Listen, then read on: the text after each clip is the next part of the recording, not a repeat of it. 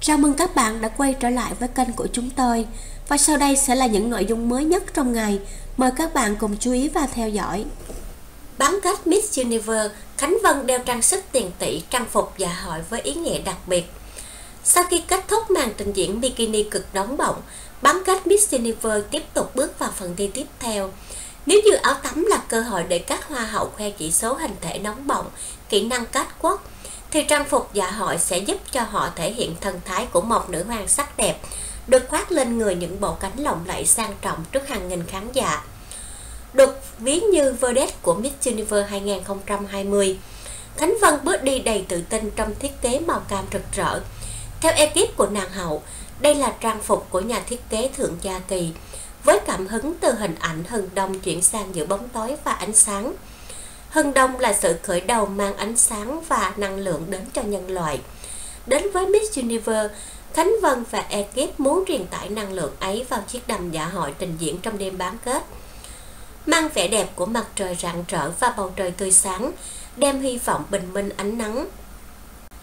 Bên cạnh đó, với cam màu cam nổi bật, Khánh Vân khéo léo lồng ghép thông điệp ý nghĩa về gia đình và cộng đồng. Đây là màu sắc đầu tiên của chiếc áo dài mà ba của Khánh Vân chọn. Chính tay vẽ lên áo dài cho Khánh Vân trong cuộc thi sắc đẹp đầu tiên tham gia và đăng quang vào năm 2013. Từ đó mỗi lần khoác lên người trang phục màu cam, Khánh Vân như được thụ hưởng sự mạnh mẽ của màu đỏ, sự ấm áp của màu vàng. Tổng hợp hai nguồn năng lượng giúp cô luôn tràn đầy sức sống. Đó cũng là năng lượng mà Khánh Vân cảm nhận được sau đại dịch Covid-19. Tất cả người dân Việt Nam và thế giới luôn có sự đoàn kết đồng lòng vượt qua khó khăn, dù trong hoàn cảnh nào vẫn luôn giữ niềm tin hướng về phía trước. Bên cạnh đó, bộ trang sức đá quý cũng giúp Khánh Vân thêm phần nổi bật. Xem xong phần thể hiện đầy tự tin bản lĩnh của Khánh Vân trên sân khấu bán kết Miss Universe 2020, cư dân mạng vô cùng phấn khích trước màn thể hiện này. Xuất sắc luôn chị ơi, sáng sân khấu lắm luôn, sẽ tà váy dễ đi hơn. Vân bước ra cái xoay một vòng tim em như tan chảy. Diễn đỉnh kinh khủng, bộ váy không quá xuất sắc, nhưng Vân diễn đẹp khủng khiếp. Camera tia không rời mắt, với nhiều bạn quốc tế cũng khen rối rít đẹp quá. Một mình chị một màu thần thái và xuất sắc.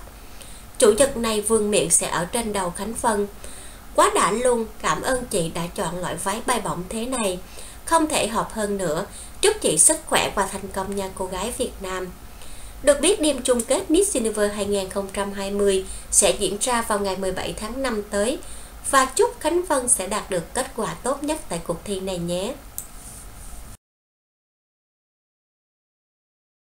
Bản tin của chúng tôi đến đây đã kết thúc. Cảm ơn các bạn đã quan tâm và theo dõi. Hẹn gặp lại các bạn ở những bản tin tiếp theo.